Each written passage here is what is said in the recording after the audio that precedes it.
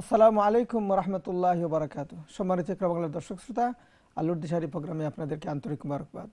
আলহামদুলিল্লাহ আমাদের সাথে রয়েছেন ব্রিটেনের শ্রদ্ধাবাজান আলিমিদ্দিন শেখুল হাদিস মুফতি শেখ আব্দুর রহমান দামাত বারাকাতহম। আশা করি আপনারা আমাদের সাথে সঙ্গে আছেন। দেখি এই মুহূর্তে আমাদের সাথে কে রয়েছেন? হ্যালো কুল্লাহ সালাম আলাইকুম। হ্যালো আসসালামু আলাইকুম। ওয়ালাইকুম সালাম রহমতুল্লাহ আমার হুজুরের কাছে একটা প্রশ্ন আছে। জি বলুন আপনার প্রশ্ন। আমার প্রশ্নটা হইলে গিয়া ও আমরা তো বর্তমানে প্রতিটা ফ্যামিলি এখন মানে দেশে যারা আছি হিন্দি যে সিরিয়ালগুলো হিন্দি নাটকগুলো দেখি আমরা তো হিন্দি নাটকের ভিতরে আপনার ও ফিফটিন সিক্সটিন টাইম ওগুলা বারে পূজা যেটা এটা দেখানো হয় আর কি।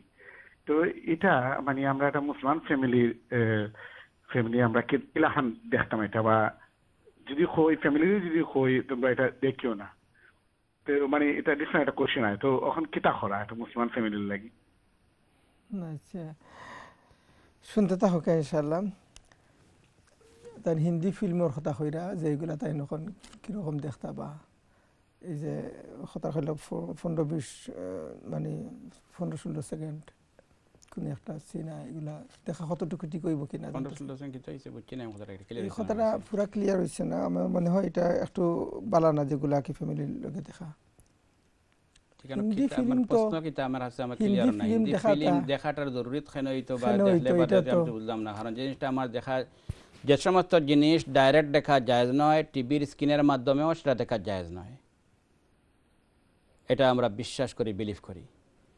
সেজন্য টিভির সব কিছু আমাকে দেখতেই হবে, এরকম তো কোনো বাধ্যকতা আমার জানা মতো নেই। এটা তো আমাদের প্রত্যেকের, কোনটা দেখব কোনটা দেখব না, এটা আমি আমার ভালো মন্দ যাচাই করে আমি আমার সিদ্ধান্ত নিতে হবে আমাকে।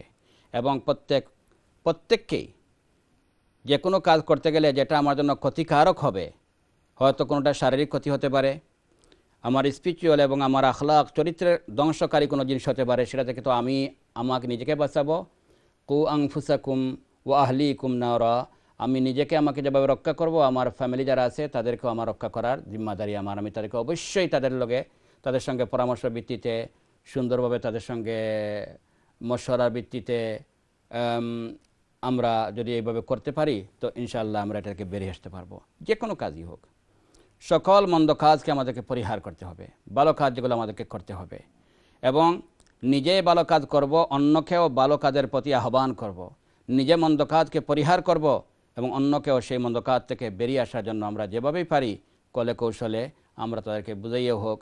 উদৌলা সাবিরাবি কাবিল হেকমা ওয়াল মাউইদাতিল হাসানা, হিকমা অবলম্বন করে এবং সুন্দর ওয়াদ নসিহতের মাধ্যমে, অ্যাডভাইসের মাধ্যমে অবশ্যই আমরা বোঝাবার চেষ্টা করে যাব ইনশাআল্লাহ। জাজাকুমুল্লাহ জাজাকাল্লাহ। আমরা দেখি আমাদের সাথে পরবর্তী কলকে রয়েছেন। হ্যালো কলার সালামু আলাইকুম। হ্যালো আসসালামু আলাইকুম রহমতুল্লাহ বারাকাতু ওয়ালাইকুম সালাম রহমতুল্লাহ। আমার দুইটা বা তিনটা প্রশ্ন আছে। জি বলুন আপনার প্রশ্ন। একটা হইল আল্লাহ পবিত্র কালামও কইছেন যে আমার ইচ্ছা ব্যথিরেছে আমার ইচ্ছা ছাড়া তোমরা ইচ্ছা করতে পারো না। ওটা তা হুজুরে একটু সুন্দর করে কইবা যাতে আমরা আর একটু গাড়াভাবে বুঝতে পারি। আশার বুঝিতে পারছি নাই নি? জি ইনশাআল্লাহ। আচ্ছা ইনশাআল্লাহ। ইনশাআল্লাহ ইনশাআল্লাহ আপনার তাআলা। শুনতে আর- একটা প্রশ্ন হইল পবিত্র রমজান শরীফ তো আই আর বেশি বাকি নাই। পাঁচ ছটা তখন তো আমরা প্রস্তুত নেওয়া উচিত। তো আমার প্রশ্নটা হইল গিয়া যে সেই জমাতে শরিক হইতা থারাবির নমাজও এখন এশার নামাজ জমাতে পড়ছই না। এশার নামাজ না পড়ি জমাতে না পড়িয়া বা এমনিও না পড়িয়া তাই না ইয়া তারাবির জয়নি কিছু কি নমাজ তান ঠিক হইব নি। আচ্ছা ঠিক আছে ইনশাআল্লাহ। শরীয়তে এটা কি তা হয়। পরে তাই জমাত বাদে হয়তো তাই নেশা করবা। এরকম অনেক আছে আর কি আর একটা প্রশ্ন হইল যে নমাজ শেষ করার বাদে সন্দেহ আইলো মনের মাঝে যে তিন হাত পড়লাম না সাইডে হাত পড়লাম? এখন নমাজ শেষে দিলে সন্দেহ হয় তখন নমাজটা রিপিট করার ঠিক ঠিক আছে নি না সন্দেহ করতে নাই। ও তিনটা আমার প্রশ্ন হুজুর। ঠিক আছে অত্যন্ত সুন্দর প্রশ্ন। আচ্ছা পবিত্র কোরআন শরীফে যে ইচ্ছা বা না জি ইচ্ছার উপর প্রথম প্রশ্ন ওনার যে আমরা যে ইচ্ছাই করি, আল্লাহর ইচ্ছা ছাড়া আমরা কিছুই করতে পারব না। ওমা তাশা উনা ইল্লা ইয়াশা আল্লাহ রব্বুল আলমিন। তো এই আয়াতের অর্থ হলো যে আল্লাহ আমাদেরকেও কিছু ক্ষমতা দিয়েছেন, চয়েস করার ভালো মন্দ চয়েস করার ক্ষমতা দিয়েছেন। ওহাদাইনা হুন্না জিতাইন এবং সেই ক্ষমতার ভিত্তিতেই ভালো কাজের জন্য আমরা চয়েস যখন করি, আমরা সব পাই। মন্দ কাজ যখন আমরা করতে আমরা অগ্রসর হই, তখন সেই অগ্রসর হওয়ার কারণে আমাদেরকে গুণা দেওয়া হয়। কিন্তু এরপরেও ফাইনাল আল্লাহর ইচ্ছা ছাড়া কিন্তু আমরা কোনো কাজ সম্পাদন করতে পারব না। এটা এভাবে মনে করেন যে আপনি ইন্টারনেটে কোনো একটি জিনিস সাবমিট করতেছেন। আপনি সব ফাইল রেডি করে তারপরে আপনি যে সময় ফাইনাল ডান আপনি করবেন, এই ডান করলেও যদি ইন্টারনেটে কানেকশন থাকে না, আপনার এই ডান করলেও এটা ডান হয় না। এর পিছনে ইন্টারনেটে কিন্তু এটাকে সাপোর্ট দিতে হয়। ঠিক এমনিভাবে আপনি আমি কোনো কাজ করার যখন সিদ্ধান্ত আমি চূড়ান্ত করে ফেলি, চূড়ান্ত করলেই হয়ে যাবে না। যতক্ষণ পর্যন্ত তার পিছনে আল্লাহর ইন্টারনেট কানেকশনের সাপোর্ট যখন থাকবে না, আপনি আমি করতে পারব না। সেটাই এখানে মিন করা হয়েছে। এবং এই ইচ্ছার উপর কিন্তু আপনার আমার মোকল্লফ হওয়া বা সেটা দায়- দায়িত্ব আমাদের উপর যেটা আল্লাহর পক্ষে দেওয়া হয়েছে, এটার উপর নির্ভর নির্ভর করে না। এটা ফাইনাল একটা জিনিস হওয়ার ক্ষেত্রে আল্লাহর ইচ্ছা না থাকলে কোনো জিনিস আমরা কেউ করতে পারব না। আমরা বিশ্বাস করি যে গাছের একটি পাতা নড়তে হলেও সেটার পিছনে আল্লাহর ইচ্ছা থাকতে হবে। আপনি আমি যেগুলো করতেছি, এটাও আল্লাহর ইচ্ছা থাকতে হবে। কিন্তু এর অর্থ এটা নয় যে আল্লাহর ইচ্ছা আছে দেখেই এটা আল্লাহ পাক সমর্থন করতেছেন। যেমন পরীক্ষার হলে একজন পরীক্ষার্থী পরীক্ষা দিচ্ছে। এখানে কিন্তু নেগরান যিনি থাকেন যারা এখানে চেক দিতেছেন টিচার যার সামনে আছেন, তারা কিন্তু ইচ্ছা করলে একজন পরীক্ষার্থীকে আটকাইতে পারে। কিন্তু এর পরেও অনেক সময় ভুল লেখে এর টিচার দেখতেছেন, তাকে আটকান না। সুযোগ দিচ্ছেন তাকে। সুযোগ না দিলে লিখতে পারবে না কে। কিন্তু এই ভুল লেখার পারমিশন দেওয়ার অর্থ এটা দাঁড়ায় না যে ভুলটাও এই টিচার সমর্থন করে নিচ্ছেন বা এটা সে ভালো করছে, ভালো হিসাবে দেখতেছেন না। ঠিক দুনিয়া যেহেতু দারুত তকলিফ, আল্লাহ সুবহানাহু আমাদের পরীক্ষার হলে সেখানে পাঠিয়েছেন ওয়ালা নাবলুয়ান্নাকুম বিশাই মিনাল জুই ওয়াল খাওফি। এবার আল্লাহ পরীক্ষা আমাদের করে থাকেন। সেখানে যদি আমরা ভালো কাজ করি সে সুযোগ আল্লাহ দিবেন।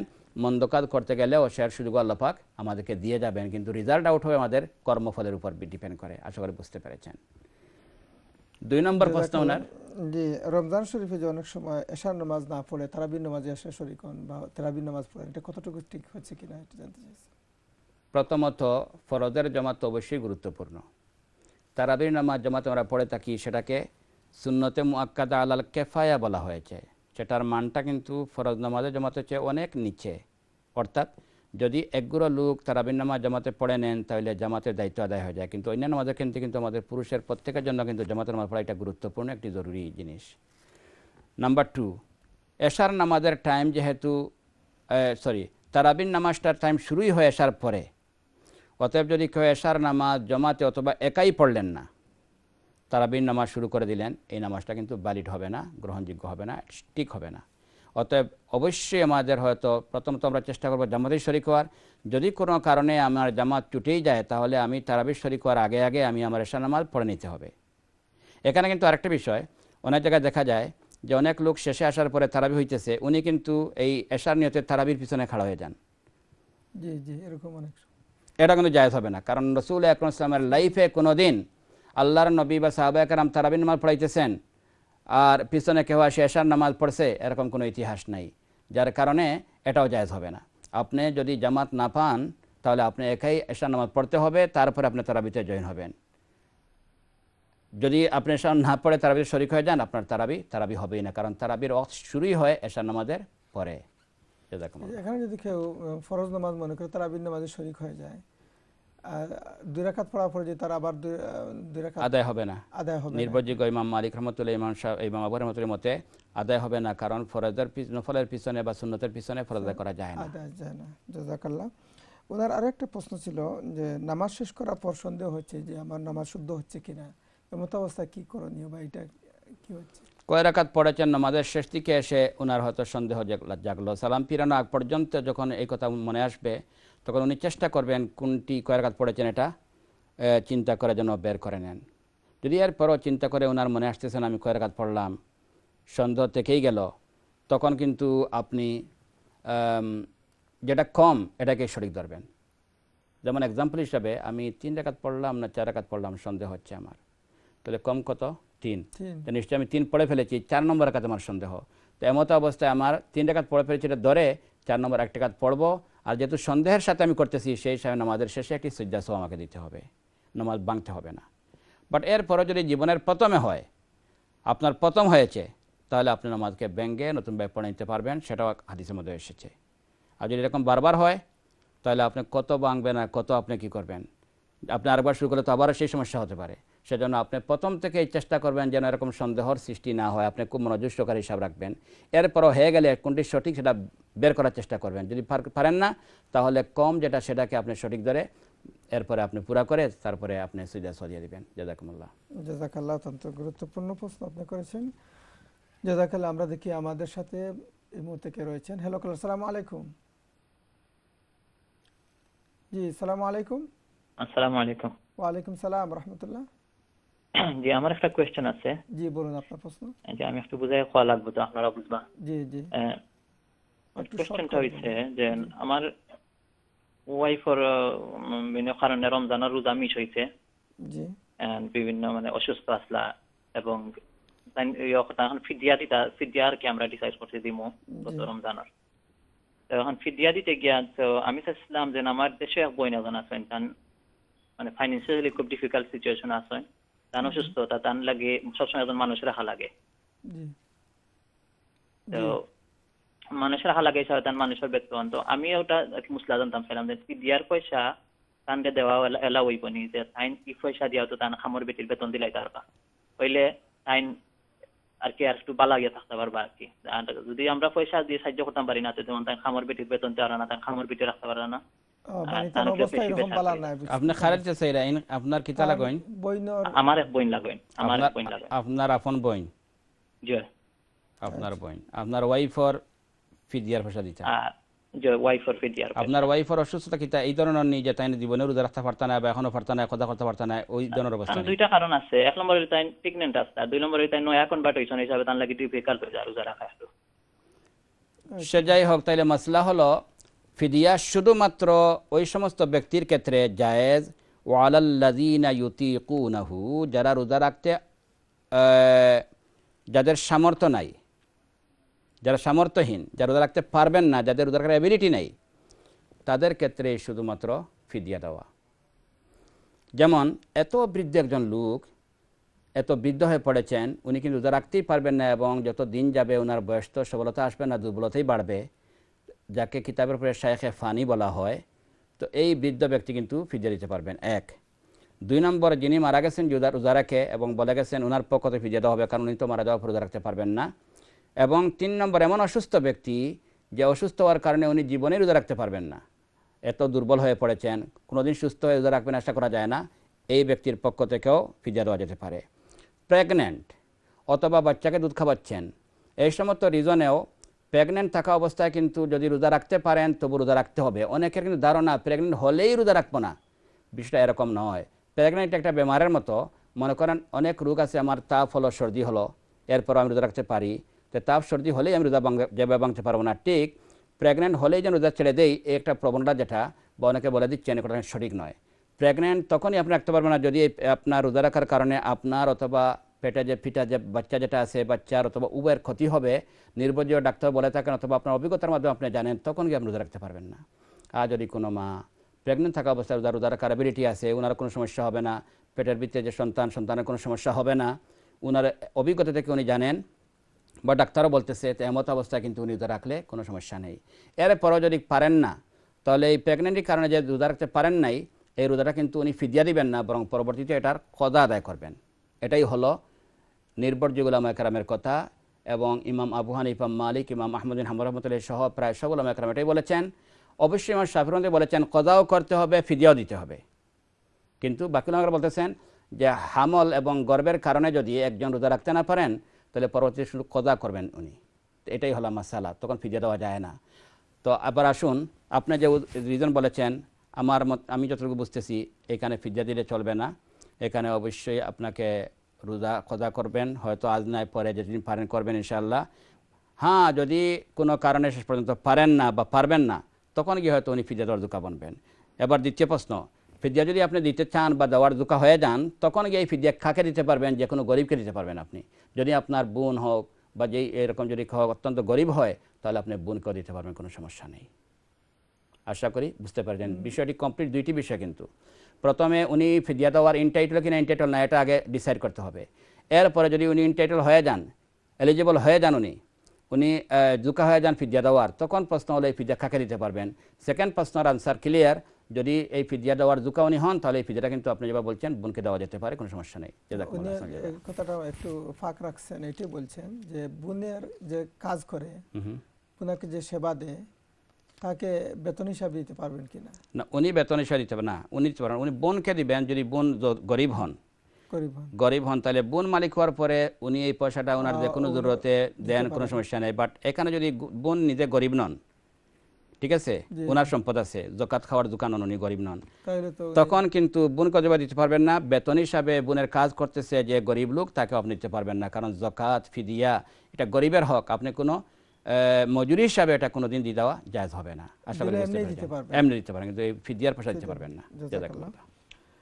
জাজাকাল্লাহ আশা করি বুঝতে পেরেছেন। আমরা দেখি আমাদের সাথে এই মুহূর্তে কে রয়েছেন। হ্যালো কলার সালাম আলাইকুম। জি সালাম আলাইকুম। ওয়ালাইকুম সালাম। জি আপনার কোনো প্রশ্ন আছে ভাই? আসসালামু আলাইকুম রহমতুল্লাহি বারাকাতু ভাই আমার নাম মতিন। জি জি। আমি পৌষ মতনে হইয়া। জি মাশা আল্লাহ আমার একটা কোশ্চেন হইল জি। কোন রাজনৈতিক সভা সমিতিত গেলে দেখা যায় কোন কোন সময় প্রায় সময়ও শহীদের স্মরণে দাঁড়াইয়া দুই মিনিট বা এক মিনিট নীরবতা পালন করেন জি। আচ্ছা একটা ইসলামর দৃষ্টিতে কতটুকু ঠিক বা অঠিকতা আমারে বুঝাইয়া কইবা ধন্যবাদ ভাই। আব্দুল মতিন সাহেব আপনার নাম যেহেতু মতিন আপনাকে মতিন বলা যাবে না যেহেতু মতিন আল্লাহর নাম আপনাকে আমরা আব্দুল মতিনই বলব। কারণ আল্লাহর সিফাতির নাম আমরা যারা রেখেছি মাস অত্যন্ত সুন্দর নাম। যেমন মনে করেন, আমার নাম আব্দুর রহমান। এখানে সেকেন্ড পার্ট যেটা, এটা কিন্তু আল্লাহর সিফাতি একটি নাম। তো সেখানে যদি আমার প্রথম আব ছেড়ে যদি সেকেন্ড নাম আমি নিজে উচ্চারণ করি বা অন্য আমাকে ডাকে, তাহলে আমরা গুণাগার হবে, এটা মনে রাখবেন। নাম্বার টু আপনি যেটা বলেছেন, আমাদেরকে ইসলাম শিক্ষা দেয়, কোনো লোক মারা গেলে এমন কাজ করব যেটা তার ফায়দা হয়। এটা হলো ইসলামের শিক্ষা।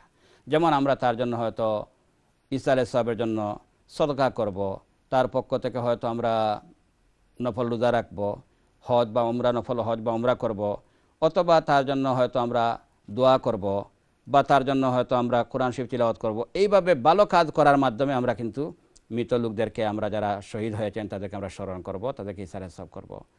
নীরবতা এটা কিন্তু ইসলাম বলে না, এটা হয়তো যারা করছেন তারা ইসলাম হিসাবে করতেছে না, তারা তাদের অন্যান্য স্টাইল হিসাবে করতেছে। ইসলাম কিন্তু আমাদের শিক্ষা দেয়, এমন কাজ আমরা করব যেটার মাধ্যমে নিজেরও ফায়দা হয় এবং যারা মারা গেছেন, তাদেরও ফায়দা হয়। এবং কি কাজ করলে ফায়দা হবে সেটা আপনি, আমি আমার আপনার আমার মাথা থেকে নিলে হবে না বরং দেখতে হবে যে আমাদের নবী এ করিম সাল ইসলাম কীভাবে বলেছেন এবং ওহির মাধ্যমে আমরা কী ইনফরমেশন পেয়েছি সেই ইনফরমেশন অনুযায়ী আমাদেরকে সেই কাজটি করতে হবে। আশা করি বুঝতে পেরেছেন। জাজাকুমুল্লাহ জাজাকাল্লাহ আপনার এই সুন্দর প্রশ্ন করার জন্য। দেখি আমাদের সাথে এই মুহূর্তে কে রয়েছেন? হ্যালো কলার সালাম আলাইকুম। হ্যালো জি সালাম আলাইকুম। সালাম আলাইকুম ভাইয়া। আমার দুইটা কোয়েশ্চেন আছে। জি বলুন আপনার প্রশ্ন। এ, একটা কোয়েশ্চেন হলো যে আমার আমার ওয়াইফ আর কি বিয়া শুনা তাই স্যার যে এক্সচেঞ্জ করি আর কি নিউ সেট আনতা। তো ইসলামিক ভাবে এটা কি এলাউড নি মানে বিয়া শুনা যে এক্সচেঞ্জ করা। আর সেকেন্ড কোয়েশ্চেন আছিল ভাইয়া অজু থাকা সত্ত্বে বেবিন নাপি চেঞ্জ করলে অজু থাকব নি না নয়া করে করা লাগবে? দেন চেঞ্জ করছেন তানো না তো ওখান নানি জি চেঞ্জ করা চেঞ্জ বিয়ার দেন চেঞ্জ জি। বিয়ার স্বর্ণ আর কি এটা চেঞ্জ না না বুঝতে পারছি না। নেফি যে চেঞ্জ করছেন অজু দাই বখার মানে জান যে নেফি চেঞ্জ করছেন যে মাথা নজর থাকবে না ওটা কোয়েশ্চন জি তো প্রথম প্রশ্ন হইল কি? মানে বিয়ার শোনা যে মানে এগুলা মানে চেঞ্জ করিয়া অন্য শোনা হয়তো লইতাছে এরা। ডাইরেক্ট? সোনা দিয়ে সোনা চেঞ্জ করতে গেলে যে কমি বেশির কারণে যেটা হয়ে যাবে এটা জায়জ হবে না। জাহাবু বিজ জাহাবি ওয়াল ফিজাতু বিল ফিজাতি লম্বা হাদিস শেষে এসেছে যে রিবান এটার সুদ হবে যদি এক সাইড বেশ হয়।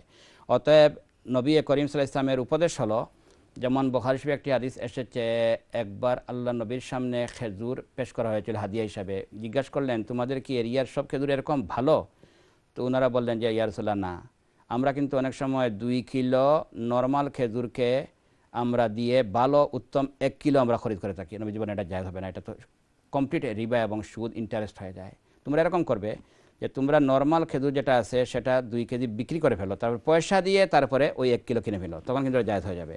তো আপনার ওয়াইফের জন্য ডাইরেক্ট এইভাবে সোনা দিয়ে সোনা এক্সচেঞ্জ করলে সেটা জায়জ হবে না সুদে পরিণত হয়ে যাবে। আপনি ওইটা পয়সা দিয়ে পয়সা নিলেন এরপরে পয়সা দিয়ে আপনার একটা সেরকে নিলেন এটাই হবে আপনার জায়জ করার তরিকা এবং পন্থা। আশা করি বুঝতে পেরেছেন। আগে পয়সা নিলেন এরপরে। স্বর্ণ করে অবশ্যই। মাশাআল্লাহ এটা কিন্তু অনেকে এইরকম করে থাকেন। এই ভাইয়ের প্রশ্ন দ্বারা আমি মনে করি অনেকে উপকৃত হচ্ছেন। ওনার দুই নম্বর প্রশ্ন হচ্ছে যে অজু থাকা অবস্থায় যদি কোনো মা বাচ্চার নেফি চেঞ্জ করেন বা কেউ এইভাবে কোনো বেবির নেফি চেঞ্জ করেন যিনি চেঞ্জ করলেন অজু করে অজু অবস্থায় উনি চেঞ্জ করলেন আরেকজনের বেবির তো যিনি চেঞ্জ করেছেন অজু থাকবে না থাকবে না ইনশাল্লাহ এখানে অজু ভাঙ্গার কোনো কারণ নেই। হ্যাঁ মেক শিওর এবং আশা করি এটা অবশ্যই লক্ষ্য রাখবেন যে যদি নেফি চেঞ্জ করতে গিয়ে ওনার হাতের মধ্যে কোনো নাপাক লেগে যায় এটা আপনি হয়তো দুই দুইয়া দৌত করবেন দুইয়া ফেলবেন বাস কিন্তু অজু আপনার বঙ্গ হবে না অজু বঙ্গ হয় না। জাজাকাল্লাহ আমরা দেখি আমাদের হ্যাঁ যদি কোয়েশন এরকম হয় যে অসুস্থ কোনো লোক যিনি মনে করেন নেফি পরিধান করে আমি জানি- মনে হয় এরকম হবে না কোয়েশনটা আবার এরপর আমি বলতেছি অনেক বয়স্ক লোক থাকে যাদের প্র- প্র- প্রস্রাবের ড্রপ হয় কাতরা সবসময় গিরতে থাকে ওরা কিন্তু অনেক সময় কিন্তু নেফি ইউজ করেন। আচ্ছা। তো নেফি যদি কর্মরত ইউজ করা অবস্থায় নামাজ পড়তেছেন এই সময় যদি পেশার কাতরা ড্রপও হয় ওনার কিন্তু অজু ভাঙবে না।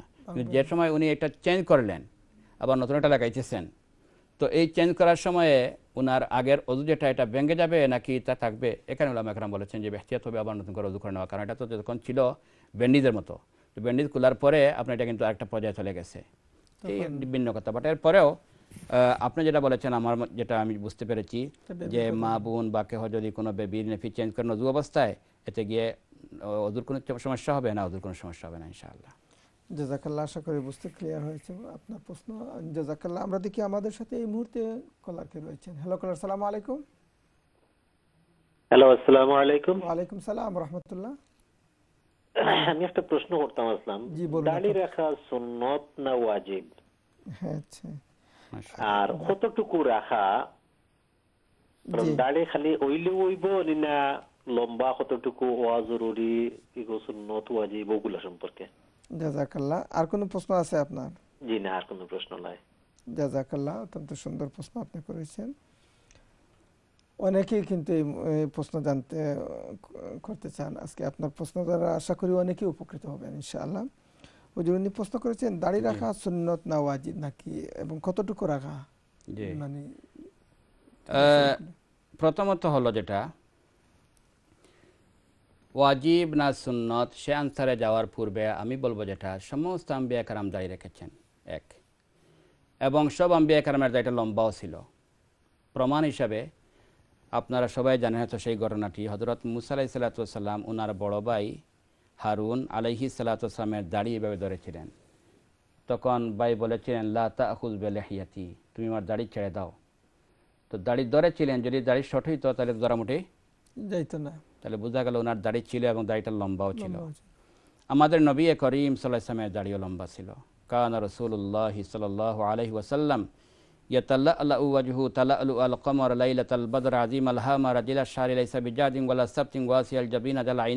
সেখানে রয়েছে ওয়াক কানা আজিম অথবা কাসির নবী একরম ইসলামের দাড়িটা ছিল মুখ ভরা এবং লম্বা দাড়ি ছিল। এবং হাদিসের মধ্যে যতটি শব্দ এসেছে, প্রত্যেকটি শব্দের দাড়িকে লম্বা করার কথা এসেছে। যেমন নবী ইসলাম বলেছেন ওয়াফিরুল্লুহা আরেকটি হাদিস এসেছে আরখুল্লুহা এই যতটি শব্দ এসে, প্রত্যেকটি শব্দের মধ্যে এসে তোমরা দাড়িকে লম্বা করো, দাড়িকে ছেড়ে দাও, দাড়িকে লম্বা করো ছেড়ে দাও। নবী এখন দাড়ি লম্বা ছিল। আরেকটি হাদিস, একদিন কেউ জিজ্ঞাসা করল যে, নবী ইসলাম কি জুহর এবং আসর এক রাত পড়তেন? তো সাহেব তো ইয়েস, পড়তেন। তো আবার প্রশ্ন করলেন যে আপনারা বুঝতেন কীভাবে? উনি তো কেরাত আসতে পড়তেন। আপনারা কীভাবে জানলেন যে আল্লাহ নবী কেরাত পড়েছেন? না। তো সাহাবাকরাম বলতেন বেইস্তারাবে লেহিয়াতি। পিছন দিক থেকে আমরা দেখতাম ওনার দাড়ি কিন্তু লড়তেছে। তো পিছন দিকে দাড়ি নড়া দেখতে হলে দাড়িটা অবশ্যই একটু লম্বা হতে হবে তো এই লড়াটা দেখা যাবে না। এখান থেকে বোঝা রসমান দাড়ি লম্বাও ছিল। তো এই সবটা মিলিয়ে রসলাম দাড়ি লম্বা ছিল। লম্বা করার কথা বলেছেন। এটাকে কেউ শূন্যতে মুয়াক্কাদা কেহ ওয়াজিব বরং ফোকায় কারাম চার মতো লোকায় কারামের নির্ভরযোগ্য কথা যেটি সবাই বলেছেন ওয়াজিব ওয়াজিব ওয়াজিব ওয়াজিব ওয়াজিব। কেহ এটাকে সুন্নতে মুয়াক্কাদা বলে থাকেন হয়তো কিন্তু আসলে বেশিরভাগ ওলামা একরাম ওয়াজিব বলেছেন। সুন্নতে মক্কাদা যদি আমরা মনে করি, তাহলে সুন্নতে মক্কাদার অর্থ কি? যেটা করতে হবে, না করলে কিন্তু গুণা আছে। এবং নবী এ করিম সালামের একটি সুন্নতকে যদি আমরা মহব্বত করি, আল্লাহ আকবার মনাহাব্বা সুন্নতি ফাকাদ হাব্বানি মনাহাব্বানি খানা মাইয়াফিল জান্না যারা দাড়িকে মহব্বত করল, সুন্নতকে মহব্বত করল, নবীকে মহব্বত করল এবং নবীর সঙ্গে হাস্যর হবে, কত বড় কথা। এবং এটা ম্যানহুড আল্লাহ সুবাহ তালা আমাদের পুরুষের একটি পরিচয় হলো দাড়ি। খ্রিস্টাদের তসবির মধ্যে একটি তসবি হলো সুবহানা মান রিজালা বিল্লুহা। আয় আল্লাহ, তুমি এত পবিত্র, তুমি পুরুষদেরকে কীভাবে দাড়ির মাধ্যমে সুন্দর করেছ এবং মেলুকদেরকে লম্বা চুলের মাধ্যমে সুন্দর করেছ? অতএব ভাই, সুন্নত না ওয়াজিব, আপনি কোয়েশ্চেন করেছেন, আমি সেভাবে আনসার করতেছি। মেজরুল ইসলাম ওয়াজিব বলেছেন এবং ইনশাল্লাহ আমরা দাঁড়িয়ে রাখব লম্বা করব ইনশাআল্লাহ। জাজাকামুল্লাহ। জাজাকাল্লাহ অত্যন্ত সুন্দর প্রশ্ন আপনি করেছেন মাশাআল্লাহ। আমরা দেখি যেহেতু আমাদের শেষ মানে দ্বিতীয় পর্ব শেষ পর্যায়ে চলে এসেছি আমরা যেহেতু ছোট্ট বিরতি যেতে হচ্ছে বিরতির পর আবার যখন ফিরে আসব ইনশাল্লাহ আবার আপনাদের প্রশ্ন নেওয়ার চেষ্টা করব। আশা করি আমাদের সঙ্গে থাকবেন। আসসালামু আলাইকুম রহমতুল্লাহি ওবরাকাত Glory to Allah, thanks to Allah, Alhamdulillah. Rasulillah.